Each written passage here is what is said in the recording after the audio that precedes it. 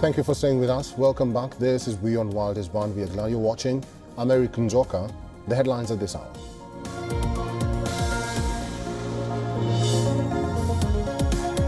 Russia's army says it halted Ukraine's advance into its western Kursk region in several places, hitting troops and equipment in areas up to 30 kilometers from the border.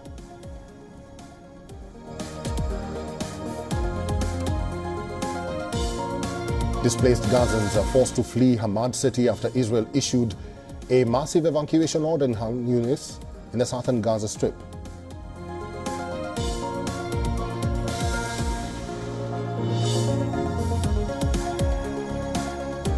The Foreign Affairs advisor in Bangladesh's interim government says that it is important that people feel India is a good friend of Bangladesh as both countries have shared deep relations.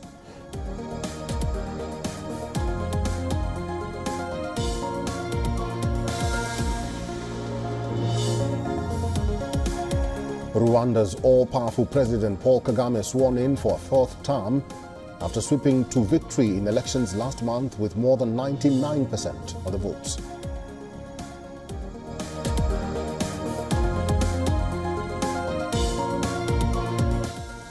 India's markets regulator SEBI asks investors to remain calm and exercise due diligence before reacting to reports such as that by US-based short seller Hindenburg Research.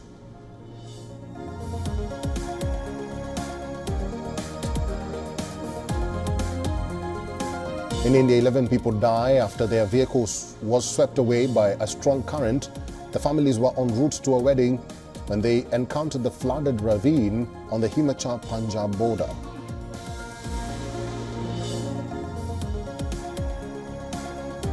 Greece is battling several wildfires with smoke covering parts of the capital Athens in a haze amid warnings for extreme weather conditions for the rest of the week.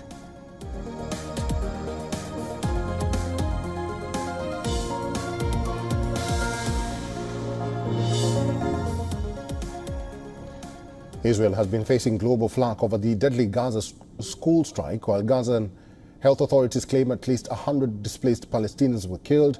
Israel claims 19 Hamas and Islamic Jihad militants were killed in the strike. For all the latest news, download the WION app and subscribe to our YouTube channel.